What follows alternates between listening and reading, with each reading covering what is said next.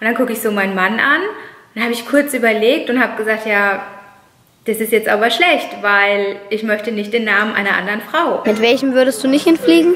So? Der Lissandra. Ich hoffe, ich fliege mit gar keinem hin. Hallo, hallo. Auf geht's zum 3D-Ultraschall. Ich bin total aufgeregt. Mein Mann ist dabei. Wahrscheinlich wird es mir gleich kotzübel. Wegen der Fahrkünste. Soll ich lieber fahren? Nee. Den Humor meines Mannes haben übrigens im letzten Video ein paar nicht verstanden. ist aber nicht schlimm, solange ich den verstehe und da ist alles gut. Das war gerade kein Deutsch. Egal, ich bin ein bisschen aufgeregt, denn äh, wie gesagt, jetzt geht es gerade zum 3D-Ultraschall. Den hatte ich noch nie. 60 Euro kostet das jetzt bei uns, also ich soll das Bar dabei haben. War das gerade War das gerade Deutsch? Ich soll das Bar dabei haben? Ja? Okay. Ähm, heute Morgen wurde mir nochmal Blut abgenommen, denn ich habe tatsächlich Schwangerschaftsdiabetes. Yay! Bei allem schrei ich im Moment hier. Ich hatte das noch nie. Vier Schwangerschaften, noch nie Schwangerschaftsdiabetes und jetzt habe ich es. Da, da. Und ja, jetzt schauen wir mal, was heute noch so passiert. Ich nehme euch wieder eine Runde mit. Danke übrigens für euer Feedback äh, von den letzten Videos. Einmal die Morgenroutine aus dem Urlaub in Kroatien und dann hatte ich euch ja noch ein Follow Me Around gedreht. Und ja, ich mache jetzt mal Schluss, weil äh, ich brauche jetzt gleich einen Eimer. Ich mache nur Spaß. also, viel Spaß beim Video. Der Max da und draußen. dein Friends. Guten Morgen. Äh, wir haben es jetzt schon den nächsten Tag. Ich habe mich gestern gar nicht mehr bei euch gemeldet, denn ich war nicht so gut drauf. Die Frau Ärztin hat einen Fehler gemacht und ich habe mir das gestern alles ganz anders vorgestellt. Äh, ja, außerdem hatte ich dann total viel zu tun und deshalb habe ich die Kamera lieber weggelassen. Ich habe jetzt schon einen Teil vom Haushalt gemacht soweit äh, ready. Jetzt melde ich mich halt nochmal bei euch. Hier sind die Sachen, die ich in der Apotheke geholt habe, wegen der äh, ja, Schwangerschaftsdiabetes. So sieht es aus. Hier ist das Gerätchen drin, kann ich euch ja später dann nochmal zeigen. Dann war ich noch kurz bei DM, habe Zahnpasta gekauft und diese Teile hier für die ähm, ja, Zahnzwischenräume, denn ich habe jetzt auf einmal Zahnfleischbluten ich muss jetzt lachen, weil ich habe gerade Nasenbluten gesagt und habe das jetzt wahrscheinlich gerade rausgeschnitten. So, jedenfalls, ähm, die Zahnpflege ist ja in der Schwangerschaft auch nochmal besonders wichtig, so eh schon. Aber ja, also ich bin noch ein bisschen durcheinander. Ich würde sagen, ich setze mich jetzt mal ganz kurz dahin und erzähle euch ein bisschen was. Die Bella wartet auch schon, dass wir dann gleich rausgehen, ne? Ja, ist ja fein. Und hier habe ich noch Kuna vom Urlaub. Und ich zeige euch jetzt aber erstmal, wie ähm, ich mich heute Morgen soweit fertig gemacht habe, denn ich habe eine neue Pflegeserie von äh, M. Asam, Asam Beauty, ähm, kann man auch dazu sagen. Und ich setze mich jetzt mal eben dahin und erzähle euch ein bisschen was. Oh, wie süß. Hast du gut gemacht. Ja. So, da bin ich. Sorry äh, wegen dem Top. Äh, aber ja, wie gesagt, Haushalt und so. Ich mache mich jetzt aber gleich dann weiter ready, denn wir fahren nach Frankfurt. Aber davor wollte ich euch eben jetzt ganz kurz von meiner neuen Reihe ähm, erzählen, von der Serie von Emma Sam. Ich wurde gefragt, ob ich das testen möchte. Und zwar nennt sich das Ganze Aqua Intense äh, Reihe, diese Pflegeserie, beziehungsweise Aqua Intense Rich. Die ist sehr, sehr sehr geeignet für mich als Schwangere, denn sie ist sehr pflegend, sehr reichhaltig, feuchtigkeitsspendend und parfümfrei, sehr leicht auf der Haut, was natürlich super ist und sie beruhigt eben die Haut. Genau, und deshalb habe ich zugesagt, ich war sehr gespannt. Ich habe auch dieses hier ähm, jetzt mal getestet und zwar dieses Magic Finish, das ist ja total gehypt im Moment. Das Packaging hat mich natürlich sehr angesprochen, das sieht so aus. Schaut euch mal bitte diese Verpackung an, wie süß das aussieht. Mega, mega, mega. Und ich würde sagen, ich blende euch das jetzt mal ein, wie ich das ähm, am Morgen verwende, das Ganze. Und erzähle euch noch ein bisschen was dazu. Ich habe nämlich auch einen Rabattcode für euch. Und zwar nennt er sich Heidi15. Da könnt ihr 15% sparen. Ich würde sagen, ich verlinke euch das alles mal unten in der Infobox. Keine Sorge, ich werde nicht am Umsatz beteiligt. Nur so viel dazu, äh, dass ihr da Bescheid wisst. Ich blende euch das jetzt wie gesagt ein. Also für mich super interessant, wie gesagt, weil es eben jetzt ideal für die Schwangerschaft ist und los geht's mit den Einblendungen. Und zwar starte ich mit meinem Hyaluron Reinigungsgel. Das trage ich mir auf das angefeuchtete Gesicht auf in kreisenden Bewegungen. Was ich total klasse finde, ist, dass da kleine Perlen aus Jojoba-Wachs enthalten sind und die entfernen durch einen sanften Peeling-Effekt eben abgestorbene Hautzellen. Die lösen sich während des Reinigungsvorgangs nämlich auf und pflegen die Haut. Und was natürlich super ist, dass da Hyaluronsäure und Panthenol äh, enthalten sind. Die spenden nämlich noch zusätzlich Feuchtigkeit. Und wie gesagt, das Ganze ist ja parfümfrei. Anschließend verwende ich dann mein Hyaluron Gesichtswasser und zwar ja, tue ich da ein bisschen was auf ein Wattepad und gehe da über mein Gesicht. Ähm, morgens und abends mache ich das einfach, um das Gesicht nochmal gründlich zu reinigen. Das ist ganz, ganz sanft auf der Haut. Man kann das auch fürs Dekolleté verwenden und ja, das wäre jetzt so der nächste Schritt, den ich mache. Als nächstes verwende ich dann meine Supreme Hyaluron Creme. Da finde ich das Packaging auch wieder richtig, richtig klasse. Das verwende ich auch morgens und abends, einfach auf das gereinigte Gesicht. Wie gesagt, ihr habt es ja gerade gesehen. Und äh, auf Hals und Dekolleté könnt ihr das Ganze auftragen. Ist sehr, sehr feuchtigkeitsspendend und sehr leicht und beruhigt die Haut. Das ist ein ganz, ganz angenehmes Gefühl. Und im Anschluss verwende ich dann mein Serum. Und zwar ähm, ja, trage ich da ganz normal ein paar Pumpstöße auf den Finger auf und klopft es auch so ein bisschen in die Haut ein. Also ich warte natürlich jeweils zu jedem Schritt ein bisschen, ganz klar. Aber ihr seht es halt jetzt alles im Schnelldurchlauf. Aber wie gesagt, so ist jetzt eigentlich im Grunde der Ablauf. Alles ein bisschen komprimiert, jetzt für euch ein bisschen. der Max hat keine Hose angehabt, aber das habt ihr nicht gesehen. Der Max hat eine schöne Boxershort an. So läufst du auch im Schwimmbad rum, Max. Nee, da lag ich nackt rum. Ach so, im Schwimmbad läufst du nackt rum, okay. Ich muss meine Haare föhnen. ja, dann komm hoch. Also im Anschluss creme ich mich dann ein mit diesem Bodybalm hier aus der Hyaluron Rich Linie. Das ist eben nochmal zusätzlich mit wertvollen Ölen angereichert und das habe ich jetzt nicht mitgefilmt, wie ich mich damit eincreme. Und das Ganze ist, wie gesagt, auch parfümfrei. Das ist eben die reichhaltigere Version der Aqua Rich ähm, Linie. Und im Anschluss verwende ich dann das Magic Finish Mousse. Und zwar ist es richtig cool, weil es ist ein 4 in 1 Produkt. Das heißt, ihr habt einen Primer, einen Concealer, Puder und Make-up in einem. Es gibt allerdings nur einen Farbton, aber lasst euch davon nicht abschrecken, denn es ist quasi so, dass es sich dem Hautton anpasst. Ihr könnt das Ganze mit den Fingern auftragen und dann habt ihr wirklich ein richtig, richtig schönes Ergebnis. Ja, so viel dazu. Und jetzt würde ich sagen, ähm, ziehe ich mich mal an. Soweit, mache noch ein bisschen was im Haushalt und dann geht es für uns nach Frankfurt. Ich freue mich schon. Der Alessandro geht wieder zur Goethestraße Autos fotografieren und ich wollte mal nach einem Kinderwagen schauen. Jawohl.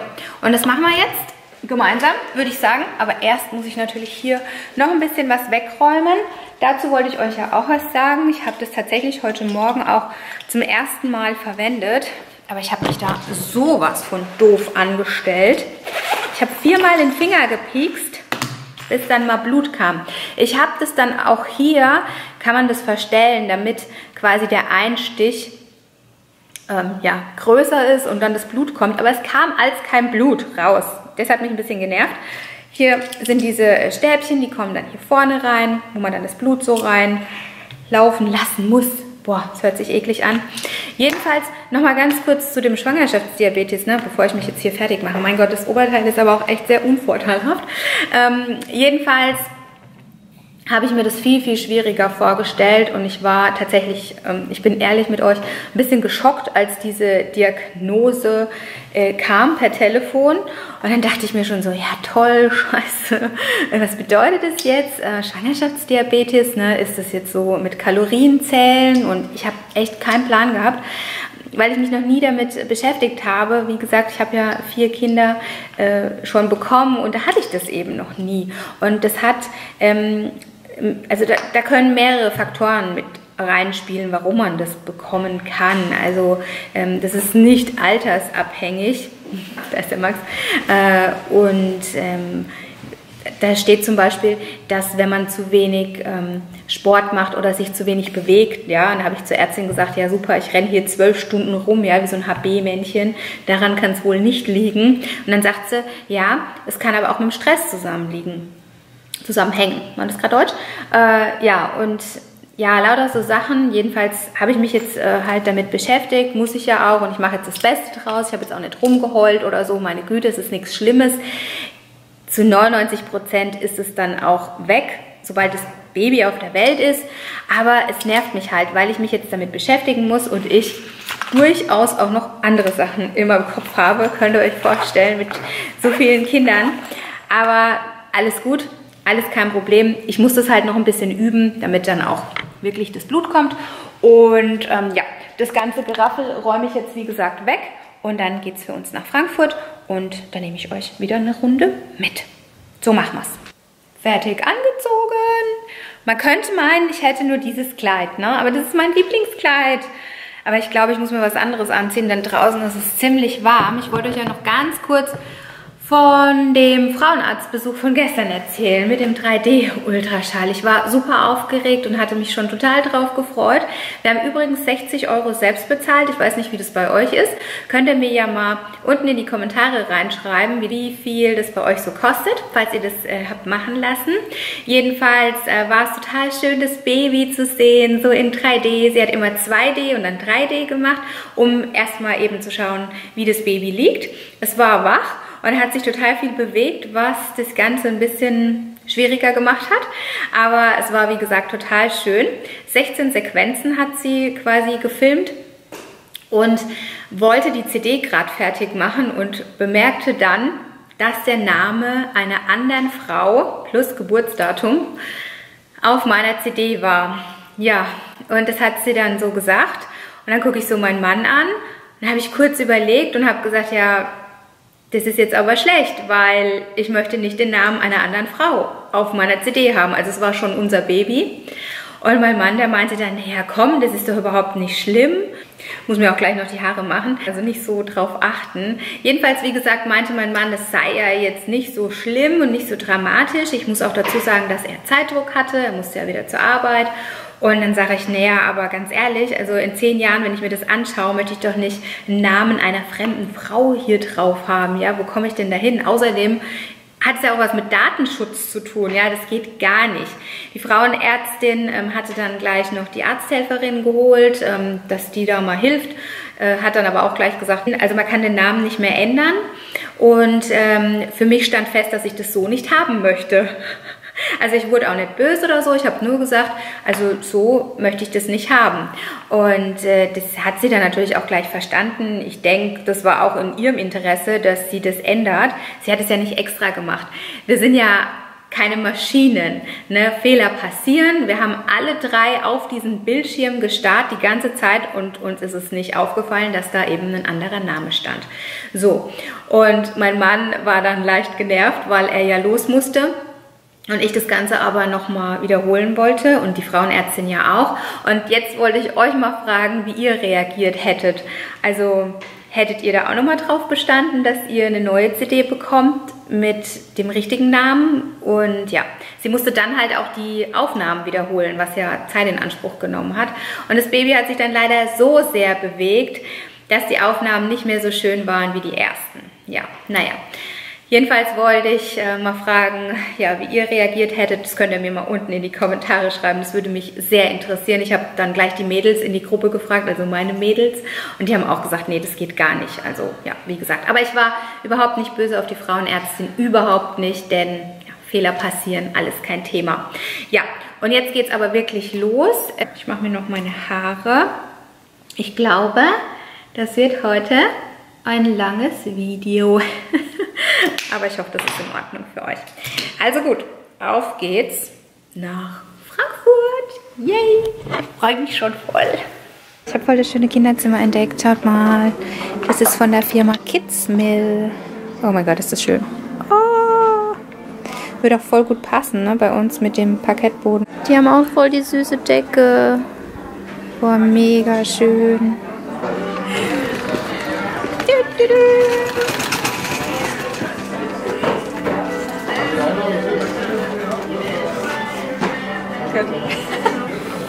An welcher steht mir? Weiß nicht. Beide schön.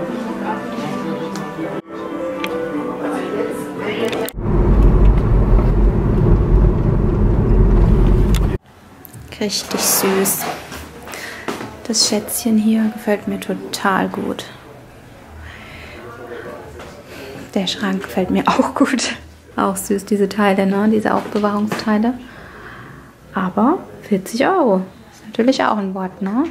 Aber richtig schön. Das ist die Wickelkommode dazu. Süß, ne?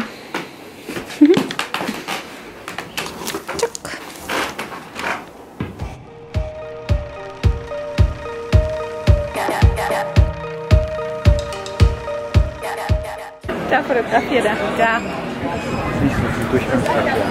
Und hast du coole Autos fotografiert? Ja. Hast du was in die Linse gekriegt, ja? Okay, ich muss jetzt was essen, Leute. Ich habe so Hunger. Ich sterbe. so, da haben wir jetzt Gucci, Louis Vuitton, Prada, Chanel. Und hier ist alles, was Rang und Namen hat. Also gehören wir hier nicht dazu. Und hier kommt das nächste fette Auto und da lässt ihn fotografiert. Da ist er. Er fotografiert. So, jetzt seht ihr auch mal den Luki heute im Video. Wir lassen es uns jetzt schmecken. Wir sind bei Subway, wie man hier sehen kann. Ja, total ungesund. Ist nicht schlimm. Ähm, darf auch mal sein. Ich würde sagen, ich beende jetzt mal an dieser Stelle das Video. Wir laufen jetzt hier noch in Frankfurt rum und gehen ein bisschen shoppen. Ist gerade ein bisschen laut. Ich hoffe, ihr hört mich. Ähm, ich glaube, das Video ist nämlich jetzt schon recht lang geworden und ja, die Entscheidung, was Kinderzimmer und Kinderwagen betrifft, ist halt relativ schwer, denn es gibt halt unglaublich viel Auswahl. Und ja, ich habe ja noch ein bisschen Zeit und nehme euch da auf jeden Fall mit auf diese Reise. Ihr wollt es ja unbedingt sehen und ich mache jetzt mal Schluss, denn äh, die Leute gucken hier. Okay, wir lassen es uns schmecken. Ich hoffe, wir sehen uns im nächsten Video wieder. Bis dann, tschüss! Okay, mein Mann hat auch noch was Gesundes gekauft bei Teegut. Nüsse und Obst. Und das war sehr lecker. Also jetzt aber wirklich Tschüss.